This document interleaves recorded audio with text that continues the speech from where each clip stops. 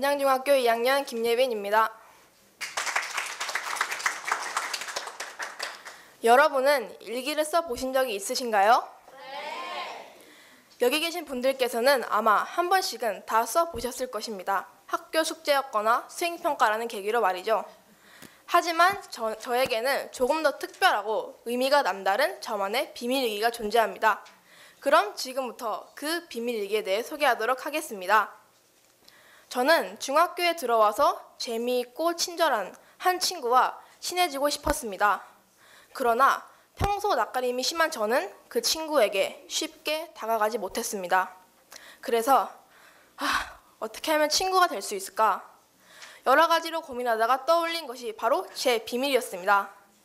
상대방과 비밀을 공유하는 것이 그 사람에게 보여주는 믿음의 표시이며 관계를 이어주는 중요한 울타리라고 생각했기 때문이죠. 그래서 학교 쉬는 시간에 그 친구에게 가서 제 하나뿐인 영어 성적에 대한 비밀을 털어놓게 되었습니다. 영어란 교과목은 저에게 심각한 걱정거리이기도 하며 부모님과 항상 싸운 갈등을 겪게 되는 문제거리이기도 했습니다. 그렇게 친구 만들기로 성공한 후 저는 비밀이 울타리가 되어준다는 것을 더욱더 잘 알게 되었습니다. 하지만 모든 친구에게 저의 비밀을 말해서 울타리 안에 함께 같이 있는 것이 꼭 좋은 것만은 아니라는 것을 저는 얼마 전의 일로 깨닫게 되었습니다. 둘도 없는 친구가 다른 사람에게 제 비밀을 발설해 버린 것입니다. 그 사실을 듣고 저는 엄청나게 실망을 했고 이후 친구와의 사이는 회복할 수 없이 멀어졌습니다. 그래서 그래 이것을 계기로 나만의 비밀 일기를 만들어 보자 라고 다짐했습니다.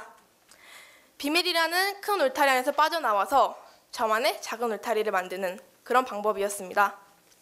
처음에는 제 모든 비밀을 친구에게 말하지 않고 일기장에만 적어야 한다는 점이 다소 답답하게 됐지만 저는 금세 해결책을 찾게 됐습니다. 바로 친구에게 말할 수 있는 비밀과 말할 수 없는 비밀 이 두 개로 나눠서 말할 수 없는 비밀만 일기장에 적어 저만의 울타리 안에서 가, 지키는 것입니다. 말할 수 없는 비밀을 일기장에 적으면서 제 삶은 달라지기 시작했습니다. 비밀로 인한 오해들이 줄어들었고 친구에게는 말할 수 있는 비밀만 말하면서 우정은 더 깊어졌고 비밀로 인한 친구 문제로 시달리지도 않았습니다. 저에게 사소한 일기장은 제게 저, 저의 삶을 크게 바꿔주었습니다. 여러분도 비밀로 힘든 일이 있다면 자신만의 울타리에서 풀어놓는 것이 어떨까요? 이상 제 발표를 마치겠습니다. 감사합니다. 네, 김예빈 학생의 아주 공감 가는 이야기 잘 들었습니다. 그 누구에게도 말할 수 없는 비밀을 일기장에 쓴다는 건 참으로 좋은 방법인 것 같아요. 이제 질의응답 시간이 돌아왔는데요. 앉아있는 학생들은 각자 공을 뽑아주시기 바랍니다. 오, 너무 긴장하시는데요.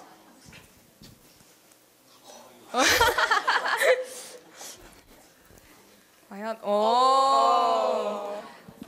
아. 네, 아산 배방중학교 유수련 학생 앞으로 나와서 질문 시작해 주세요. 안녕하세요. 저는 아산배방중학교의 류수련입니다. 어, 발표자님의 비밀을 따로 적어두는 현명한 방법에 감탄했는데요. 어, 그 친구와 친해지게 된 것이 오로지 영어 성적에 대한 비밀 덕분인가요? 어, 하나를 말씀드리자면 만약에 자기가 어떤 책을 썼을 때 마인드맵을 보냐면 그것을 기준으로 이제 가지를 연결해서 다른 사건을 연결해 놓는 게 있는데요. 저 역시 영어 성적을 바탕으로 그 친구에게 제 영어 성적에 대한 부모님의 반응이나 혹은 시험 점수를 본 친구들의 반응을 이제 같이 삼아서 말했습니다. 어, 그럼 말할 수 없는 비밀은 일기장에 적어놓고 말할 수 있는 비밀만 친구한테 말하신다고 하셨는데 그 말할 수 없는 비밀과 말할 수 있는 비밀을 나누는 기준은 무엇인가요? 먼저 말할 수 없는 비밀은 저의 좀 객관적인 사생활에 관한 이야기인데요. 사실 이제 부모님이 이제 싸운 것을 친구에게 말할 수 없으니 이제 그런 가정사에 대한 이야기는 어, 어, 얘기를 안 하고 이제 말할 수 있는 비밀은 내가 친구 간에 겪었던 갈등이나 이제 시험 성, 성적에 대한 고민 혹은 학원이나 다른 공간에서 서, 서글펐거나 이제 슬픈 일을 기준으로 삼고 있습니다. 그러면 그 해결책을 일기장으로 정한 이유는 무엇인가요? 이제 다이어리를 참 잘 꾸미는 친구가 있는데 그 친구 그 친구가 맨날 저에게 너도 한번 써봐라 정말 재밌다 이랬는데 제가 사실 손재주가 정말 없습니다. 그래가지고 이제 뭐 스티커를 붙인다든가 그림을 그려서 꾸미는 것보다는 정말 내 솔직하게 이야기를 담을 수 있는 그런 일기장을 한번 만들어 보고 싶었습니다. 어, 울타리인 일기장에 말할 수 없는 비밀을 계속 적다 보면 네. 어느 순간은 너무 많아지고 너무 쌓여서 답답해지는 순간도 있을 것 같은데 그럴 땐 어떻게 하실 건가요? 이제 아직은 그런 적은 없지만 이제 음, 만약에 일기가, 일기를 너무 많이 써서 혹은 이런 이야기를 하고 싶은데 너무 답답하다 이러면은 어쩔 수 없이 부모님에게 털어놓는 그런 경우도 생각할 수 있을 것 같습니다. 어, 좋은 답변 감사합니다. 네, 류수련 친구 수고하셨습니다. 이제 심사위원님 질문 들어보겠습니다. 네, 재밌게 잘 들었습니다.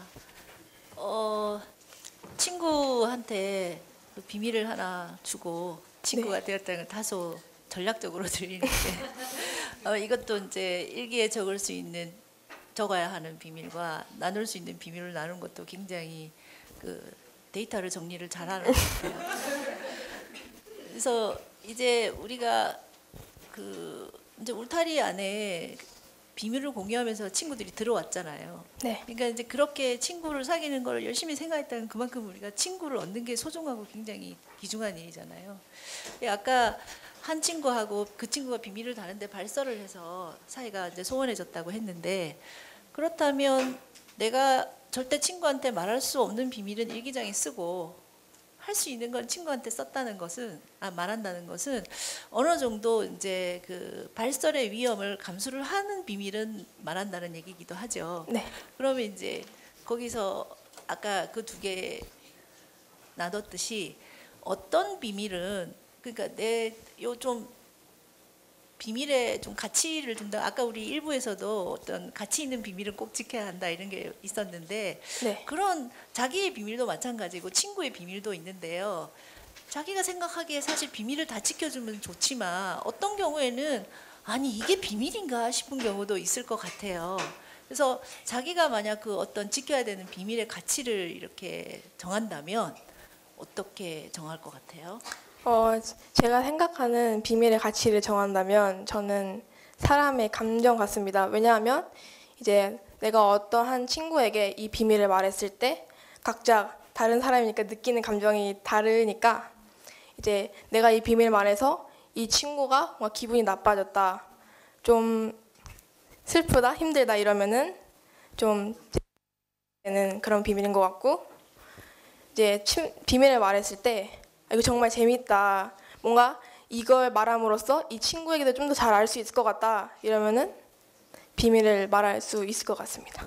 근데 그게 가치라는 게 다 각자가 가진 게 달라가지고 네네. 본인이 생각하기엔 그게 분명히 공유하면 재밌을 줄 알았는데 실제로 공유해봤더니 훨씬 더 그 친구한테는 상처가 됐더라. 그런 경험 혹시 없었나요? 그럴 수도 아직은- 있을 것 같은데. 아직은 없습니다. 네, 그 앞으로도 그런 일이 없기를 바랍니다. 네.